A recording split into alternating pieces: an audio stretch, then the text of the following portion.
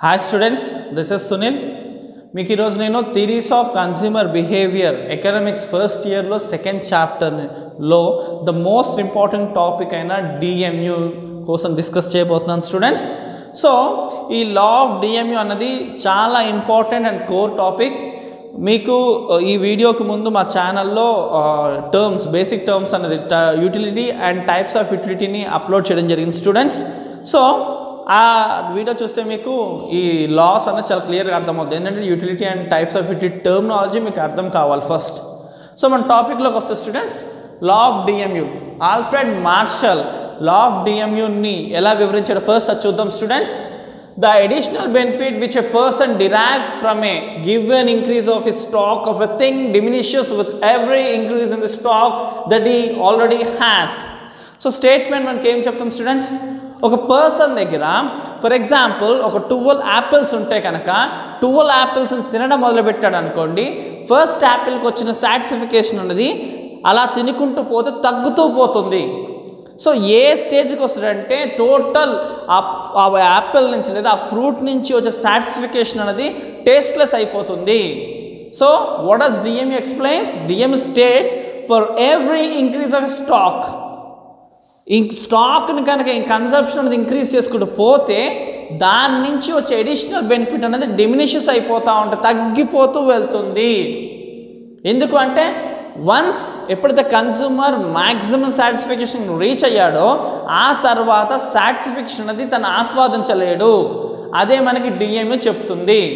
Clear students మళ్ళీ statement చూడండి. The additional benefit which a person derives so ప్రోడక్ట్ని add చేసే కొద్దీ అతనికి అడిషనల్ బెనిఫిట్ అనేది వస్తుంది. అదేమైపోతుంది? Derives from a given increase of a stock of a thing diminishes తగ్గిపోతూ వెళ్తుంది. With every increase in the stock stock పెంచుకుంటూ పోతే ఎంత పెంచుకుంటూ పోతే దాని నుంచి వచ్చే రుచి కానీ ఆ సంతృప్తి ఆ సాటిస్ఫాక్షన్ అనేది తగ్గిపోతూ ఉంటుంది. అదే law of diminishing marginal utility clear students so దానికి ఎజంప్షన్స్ చూద్దాం. డిఎం యొక్క ఎజంప్షన్స్ ఎజంప్షన్స్ అంటే ఏంటి? ప్రతి లాకి కొన్ని ఎజంప్షన్స్ ఉంటాయి. అంటే ఈ కండిషన్లో ఉన్నప్పుడు అది అప్లై అవుతుంది. అలాగే డిఎంయూ కూడా కొన్ని కండిషన్స్ ఉన్నాయి. ఆ కండిషన్స్ అప్పుడు ఇది అప్లై అవుతుంది. అంటే ఇలా జరిగినప్పుడే దీని కండిషన్ అప్లై అవుతుంది డిఎంఏ కండిషన్స్ అప్లై అవుతుంది అన్నది. దీని ఎజంప్షన్స్ చూద్దాం స్టూడెంట్స్ ఫస్ట్ రేషనాలిటీ రేషనాలిటీ అంటే ఏంటి? ఇందాక అనుకున్నట్టుగా ట్వెల్వ్ యాపిల్స్ ఉన్నాయనుకోండి ఒక పర్సన్ దగ్గర. ఆ పర్సన్ ఏమనుకోవాలి? నాకు మ్యాక్సిమం సాటిస్ఫికేషన్ వచ్చేదాకా నేను తింటూనే పోవాలి అనుకోవాలి. అలా కాకుండా ఫస్ట్ యాపిల్ తినేసి ఆపాడు అనుకో అప్పుడు తగ్గడం అనేది జరగదు. స్పూన్ టూ యాపిల్స్ తినేసి ఆపేసాడు అనుకోండి తగ్గడం అనేది జరగదు ఆ సాటిస్ఫికేషన్ అలా కాదు. The consumer should feel he should have a rational అంటే ఏంటి? మ్యాక్సిమం సాటిస్ఫికేషన్ అయ్యేదాకా నేను ఆ ఫ్రూట్ను ఆ ప్రోడక్ట్ను ఆస్వాదిస్తూ ఉండాలి అని అనుకోవాలి. So first condition was that rationality అంటే ద కన్సూమర్ షుడ్ ఫీల్ అతను ఏంటి మ్యాక్సిమం సాటిస్ఫాక్షన్ అందేదాకా నేను తింటూనే ఉంటాను అన్న ఫీల్తో ఉండాలి.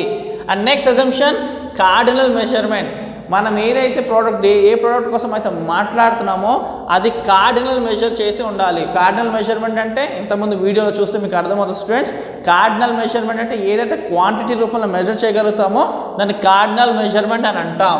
ఇకపోతే యూటిలిటీస్ ఆర్ ఇండిపెండెంట్ దేని మీద కూడా అది డిపెండ్ అయి ఉండకూడదు. మన యొక్క సంతృప్తి అన్నది ఏదైతే ఉందో అది దేని మీద డిపెండ్ అయి ఉండకూడదు. ఇండిపెండెంట్గా ఉండాలి. So next marginal utility of money remains constant so ఇప్పుడు వ్యక్తికి ఇప్పుడు ఫస్ట్ యాపిల్ కొనడానికి ఎంత అయింది సెకండ్ యాపిల్ కొనడానికి ఎంత అయింది అంత రేట్ అనేది సేమ్గా ఉండాలి. అదే చెప్తుంది marginal utility of a money remains constant అంటే ఆ రేట్లో ఆ అమౌంట్లో ఏమి మాత్రం కూడా తేడా ఉండదు. ఫస్ట్ యాపిల్కి ఎంత అయింది అంతే సెకండ్ యాపిల్ ఉండాలి థర్డ్ యాపిల్ కొనడానికి ఎంత అయింది అంతే ఫోర్త్ యాపిల్ కొనడానికి కూడా ఉండాలి. సో ఆ యొక్క ప్రైస్ అనేది సేమ్గా ఉండాలి. నెక్స్ట్ చూద్దాం students goods are homogeneous. Goods are homogeneous అంటే ఫస్ట్ యాపిల్ ఏమో చాలా డెలిషియస్ తినే ఫ్రెష్ యాపిల్ సెకండ్ యాపిల్ ఒకవేళ అంతే డెలిషియస్గా లేకపోతే ఈ రూల్ అప్లై అవ్వదు. లేదా ఫస్ట్ యాపిల్ ఏమో చెత్త యాపిల్ ఇచ్చాం. తిన్నాడు. ఫీలింగ్ ఎలా ఉంటుంది? చెత్తగా ఉందనిపిస్తుంది. సెకండ్ యాపిల్ చాలా డెలిషియస్ ఇచ్చాం. అప్పుడు ఏమనిపిస్తుంది? ఫస్ట్ యాపిల్తో కంపారిజన్ చేస్తే సెకండ్ యాపిల్ చాలా బాగా అనిపిస్తుంది కదా. అప్పుడు ఇలా రివర్స్లో ఉన్నట్టు అయ్యిద్ది కదా. సో అందుకే కండిషన్ ఏంటి? గూడ్ షుడ్ బి హోమోజీనియస్ ఒకేలాగా ఉండాలి. హోమోజీనియస్ అంటే ఏంటి? ఒకేలాగా ఉండడము. సో ఫస్ట్ యాపిల్ చెత్తగా ఇచ్చి సెకండ్ యాపిల్ బాగా ఇస్తే సెకండ్ యాపిలే బాగుందంటాడు. లేదా ఫర్ ఎగ్జాంపుల్ ఫోర్ యాపిల్స్ ఇచ్చాం చెత్త యాపిల్స్ ఇచ్చాం ఫిఫ్త్ యాపిల్ మంచిది ఇచ్చాం. అప్పుడు ఏమంటే ఫిఫ్త్ యాపిలే బాగుందంట అలా కాదు. ఏ ఫస్ట్ యాపిల్ క్వాలిటీ ఎలా ఉందో ఆ మిగతా యాపిల్స్ క్వాలిటీ అంతా కూడా ఒకేలా ఉండాలి. అదే goods should be homogeneous and next goods should be suitable size అన్నీ కూడా ఒక క్రమబద్ధకరమైన సైజులోనే ఉండాలి. ఫస్ట్ పెద్దగా సెకండ్ చిన్నగా అలా ఉండకూడదు. ఒకే యూనిఫామ్ సైజులో ఉండాలి. And next no time lag no time lag అంటే ఫస్ట్ యాపిల్ ఏమో పొద్దున్న తిని సెకండ్ యాపిల్ మధ్యాహ్నం తిని థర్డ్ యాపిల్ సాయంత్రం ఇలా కాదు. ఫస్ట్ యాపిల్ అవ్వగానే సెకండ్ యాపిల్ తినాలి. సెకండ్ యాపిల్ అవ్వగానే థర్డ్ యాపిల్ తినాలి. No time lag time gap ఇవ్వకూడదు. అండ్ నెక్స్ట్ చూస్తే కమాడిటీస్ డివిజిబుల్ డివిజిబుల్ అయి ఉండాలి. Clear students and no change in income taste and preferences of the consumer consumer యొక్క taste కానీ income కానీ తేడా రాకూడదు. సేమ్ అదే మెయింటెనెన్స్ ఉండాలి. అంటే మనము ఒక సిచ్యువేషన్ కోసం మాట్లాడినప్పుడు ఆ సిచ్యువేషన్లో అల్టరేషన్స్ అని ఉండకూడదు. ఒక కాన్స్టెన్సీ అన్నది రిమైనింగ్ ఉండాలి. డిఎంయూ రూల్ అప్లై అవ్వాలంటే. క్లియర్ స్టూడెంట్స్ సో మళ్ళొకసారి ఎజంప్షన్స్ ఏంటి? కన్జ్యూమర్ రేషనల్ అయి ఉండాలి అంటే ఏంటి? మ్యాక్సిమం సాటిస్ఫికేషన్ నేను రీచ్ అవ్వాలి అనే ఉద్దేశం ఉండాలి. అండ్ క్వాలిటీ అనేది సేమ్గా ఉండాలి. గుడ్ షుడ్ బి హోమోజీనియస్ ఒకేలాంటి క్వాలిటీ ఉంచాలి. అండ్ నెక్స్ట్ టైం గ్యాప్ ఉండకూడదు. No time lag and income వైజ్గా టేస్ట్ వైజ్గా ప్రిఫరెన్స్ కన్జ్యూమర్ యొక్క ఇన్కమ్ కన్జ్యూమర్ యొక్క టేస్ట్ కన్జ్యూమర్ యొక్క ప్రిఫరెన్స్లో ఎటువంటి డిఫరెన్సెస్ అనేది రాకూడదు. ఒక కాన్స్టెన్సీని మెయింటైన్ చేయాలి. అలాంటప్పుడే ఈ లా ఆఫ్ డిఎంయు అప్లై అవుతుంది. Clear students and next explanation part పోతాం స్టూడెంట్స్ చూడండి. ఒక వ్యక్తి సపోజ్ అనుకోండి ఒక యాపిల్లో మ్యాంగోలో తిన్నాడు. ఫస్ట్ యాపిల్ తిన్నాడు. ఎంత యూటిలిటీ ఎంత సాటిస్ఫికేషన్ వచ్చింది? ఫార్టీ వచ్చింది. సెకండ్ యాపిల్ తిన్నాడు. రెండు యాపిల్స్ కలిపి సెవెంటీ వచ్చింది. అంటే అర్థం ఏంటి? ఉట్టి సెకండ్ యాపిల్కి ఎంత సాటిస్ఫాక్షన్ వచ్చినట్టు? థర్టీ వచ్చినట్టు. ఎంత స్టూడెంట్స్? థర్టీ వచ్చినట్టు. సో ఫస్ట్ యాపిల్కి ఫార్టీ సాటిస్ఫాక్షన్ వచ్చింది. కానీ రెండు కలితో సెవెంటీ వచ్చింది. అంటే అర్థం ఏంటి? సెవెంటీలోంచి ఫార్టీ తీస్తే thirty. Only second apple satisfaction thirty. ఈ టోటల్ యూటిలిటీ అంటే ఏంటి? మార్జినల్ యూటిలిటీ అంటే ఏంటి అన్నది ఈ వీడియోకి ముందు ప్రీవియస్ వీడియోలో అప్లోడ్ చేయడం జరిగింది స్టూడెంట్స్. అది చూస్తే మీకు క్లారిటీ వస్తుంది. టోటల్ యూటిలిటీ అంటే టోటల్ సాటిస్ఫికేషన్ ఎన్ని యాపిల్స్ ఉంటే అన్ని యాపిల్స్ కలిపి సాటిస్ఫికేషన్ మార్జినల్ యూటిలిటీ అంటే పర్టికులర్ సాటిస్ఫికేషన్ పర్టికులర్ యొక్క ఈ గుడ్ సెకండ్ దానికో థర్డ్ దాని గురించి పర్టికులర్గా మాట్లాడుతుంది. సో థర్డ్ యాపిల్కి వచ్చేసరికి సాటిస్ఫికేషన్ ట్వంటీ అయిపోయింది. ఫోర్త్ యాపిల్కి వచ్చేసరికి టెన్ అయిపోయింది. ఫిఫ్త్ యాపిల్కి అసలు టేస్ట్లెస్లా ఉంది. సిక్స్త్కి వచ్చి స్టూడెంట్స్ నెగిటివ్ బాబోయ్ నాకు వద్దు అన్నట్టు వికటం. ఏంటంటే వ్యతిరేక భావన వచ్చేసింది. ఫస్ట్కి ఫార్టీ నా కాస్త నెగిటివ్లోకి వచ్చేసింది.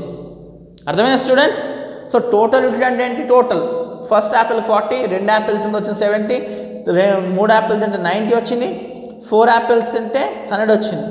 ఫిఫ్త్ యాపిల్కి ఏం చేంజ్ లేదు. సిక్స్త్ యాపిల్కి టేస్ట్ సాటిస్ఫికేషన్ నెగిటివ్ ఫార్మేషన్ దిగిపోతుంది. క్లియర్ స్టూడెంట్స్ అంటే ఏంటి? యాపిల్స్ పెరిగే కొద్దీ దాని నుంచి వచ్చే సాటిస్ఫికేషన్ తగ్గిపోతూ వెళ్తుంది. So for every increase of a stock there is a decrease in satisfaction so దీన్ని గ్రాఫ్ రూపంలో చూపిద్దాం స్టూడెంట్స్ ఇంకోండి. ఎక్స్ యాక్సెస్ తీసుకోండి వై యాక్సెస్ తీసుకోండి. సో ఎక్స్ యాక్సెస్లో మనం ఈ టేబుల్ని కనుక రిప్రజెంటేషన్ చేస్తే మనకి అది అర్థమవుతుంది. క్వాంటిటీ ఒక సైడ్ అండ్ దాని నుంచి వచ్చిన యూటిలిటీ ఒక సైడ్ చూపిస్తే TU curve total utility curve MU curve marginal utility curve so total utility curve పెరుగుతూ పోయింది పెరుగుతూ పోయింది. ఒక స్టేజ్ నొక్క పడిపోయింది. సో మార్జినల్ యూటిలిటీ మాత్రం ఫస్ట్ నుంచే పడిపోయింది. So marginal utility law of diminishing marginal utility అంటే మార్జినల్ యూటిలిటీ తగ్గుతూ పోతుంది. మార్జినల్ అంటే పర్టిక్యులర్ ప్రోడక్ట్ మీద వచ్చే పర్టిక్యులర్ నెంబర్ మీద వచ్చే సాటిస్ఫికేషన్ అది ఎప్పుడు కూడా తగ్గుతూనే పోతుంది. ఎప్పుడు పెరగదు. If at are goods are homogeneous వస్తువులు ఒకేలాగా ఉన్నప్పుడు టైం ల్యాగ్ లేనప్పుడు కన్జ్యూమర్ కనుక మ్యాక్సిమం సాటిస్ఫాక్షన్ పొందాలనుకున్నప్పుడు అండ్ నెక్స్ట్ సూటబుల్ సైజులో ఉన్నప్పుడు అండ్ యూటిలిటీస్ అనేది ఇండిపెండెంట్గా దేని మీద ఆధారపడినప్పుడు అప్పుడు చూస్తే కనుక మార్జినల్ యూటిలిటీ ఎప్పుడు కూడా తగ్గిపోతుంది. ఇక చూడండి ఏమవుతుంది? కర్వ్ కిందకి వెళ్తుంది. పైకి వెళ్తుందా? లేదు కిందకి వెళ్తుంది. వెళ్ళి ఫిఫ్త్ దగ్గర ఏమైపోయింది? జీరో పొజిషన్లోకి వచ్చింది. ఇక్కడ బాక్స్ చూసుకోండి. ఫిఫ్త్ యాపిల్కి ఏమైంది? జీరో అందుకే ఇక్కడ కూడా ఏమైంది? జీరో తర్వాత నెగిటివ్లోకి వెళ్ళిపోయింది. క్లియర్ స్టూడెంట్స్ అంటే ఏంటి చెప్తుంది మనకి? ఎప్పుడు కూడా మార్జినల్ యూటిలిటీ అనేది తగ్గుతూనే పోతుంది. ఎప్పుడు ఎక్కువ అవ్వదు. సో అంతకు ముందు పొందినంత సాటిస్ఫికేషన్ నెక్స్ట్ యాడ్ ఆన్ అయ్యే కొద్దీ తగ్గుతూ పోతుంది. క్లియర్ స్టూడెంట్స్ అండ్ దీని యొక్క బెనిఫిట్స్ దీని యొక్క యూజెస్ ఏంటంటే దీని యొక్క ఇంపార్టెన్స్ ఏంటంటే ఈ లా ఆఫ్ డిఎంయూని బేస్ చేసుకునే లా ఆఫ్ ఈక్వి యూటిలిటీ కానీ లా ఆఫ్ డిమాండ్ కానీ ఎక్స్ప్లెయిన్ చేయడం జరిగింది. అంతేకాకుండా మన గవర్నమెంట్ మనకి ట్యాక్స్ పాలసీస్ ఉంటాయి చూడండి స్టూడెంట్స్ ఆ ట్యాక్సేషన్ పాలసీస్ కూడా దీని బేస్డ్లోనే చేయడం జరిగింది. అంతేకాకుండా కంపెనీస్ ఒక బాక్సింగ్ ఎన్ని గూడ్స్ పెట్టి చెయ్యాలి ఎన్ని గూడ్స్ అయితే కన్జ్యూమర్కి సాటిస్ఫై అందుతుంది అన్న బాక్సింగ్ కూడా బాక్స్ ప్యాకింగ్ అనేది కూడా లా ఆఫ్ డిఎంఏని బేస్ చేసుకుని జరుగుతాయి. అండ్ చాలా కన్జ్యూమర్ బిహేవియర్ కన్జ్యూమర్ ఎప్పుడు ఎలా బిహేవ్ చేస్తాడో అని స్టడీ చేయడానికి ఈ లా ఆఫ్ డిఎంయూ చాలా హెల్ప్ చేసింది. And the most useful and applicable law in economics was law of diminishing marginal utility clear students I hope you were clear with this topic and ఖచ్చితంగా next వీడియోలో మనం కంటిన్యూస్గా ఈ economics topics అంతా upload చేయడం జరుగుతుంది students ఈ ఛానల్ని చూస్తూ ఈ వీడియో చూస్తున్న స్టూడెంట్స్లో ఎవరైనా ఇంకా ఛానల్ని సబ్స్క్రైబ్ చేయకపోతే please do share and subscribe our channel thank you students